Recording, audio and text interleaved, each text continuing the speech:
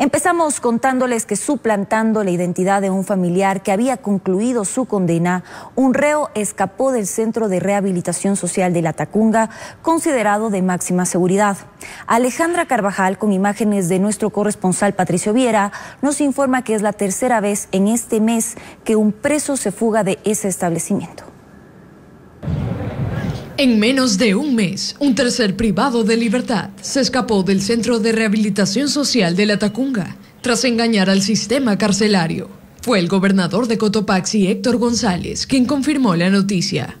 ¿Qué pasó con los filtros que tienen? Hay cuatro filtros ahí. ¿Qué pasó con los filtros? La equivocación que tienen con el pariente también, que les cuenten bien. ¿Cuántos fugados son? Tres. El hombre habría salido en libertad, suplantando la identidad de un familiar que también está detenido y que le correspondía salir de prisión. La viceministra de Justicia Liliana Guzmán estuvo de visita en el centro penitenciario. No precisó la fecha de la fuga ni la identidad del prófugo, pero explicó lo sucedido. O sea, no identifica plenamente el, juez a quién mismo está dando la, libertad. Dice, eh, se da la boleta de escarcelación para María Pérez o para Marián Pérez.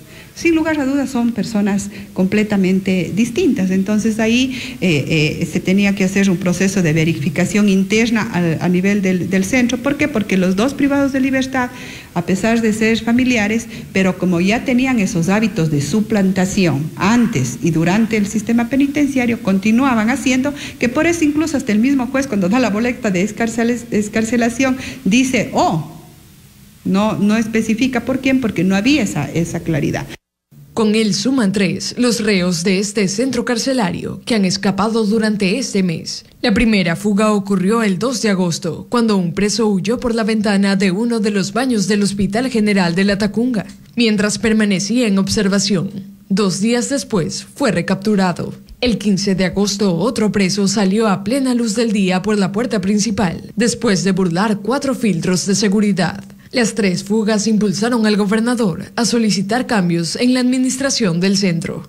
Tenemos quejas y quejas y quejas y quejas del mismo personal de la cárcel, del mismo CRC tenemos quejas en contra de la directora zonal. Entonces, ¿qué está pasando?